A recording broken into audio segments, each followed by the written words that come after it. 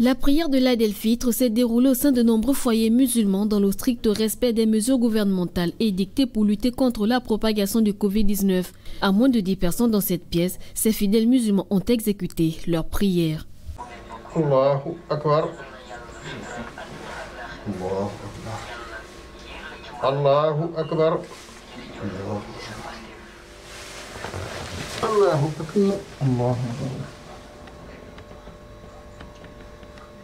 Allahu Akbar.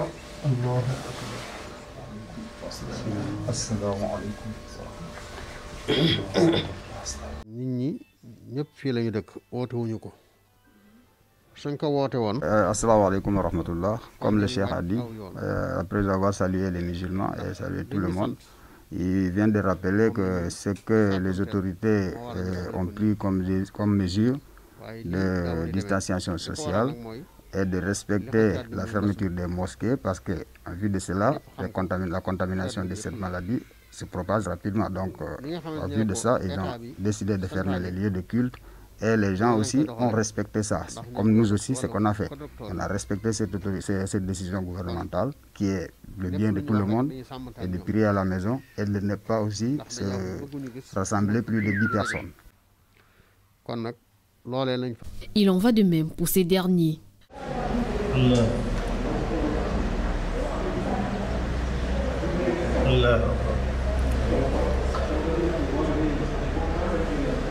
C'est la première fois qu'on fait un prière comme ça là, à cause de cette maladie, cette pandémie mondiale là. Ah, avec le confinement là, de ça on a fait ça. Le, le bilan est vraiment positif parce que on a fait comme on devait le faire. On a fait tout tout ce que l'islam a demandé de faire, on a fait ça. Le confinement n'a rien diminué sur, sur, sur ce qu'on qu devait faire. Le confinement n'a rien diminué sur ça. On a tout fait. Nous demandons seulement à Allah d'accepter tout et de nous, de nous accorder aussi beaucoup de années encore.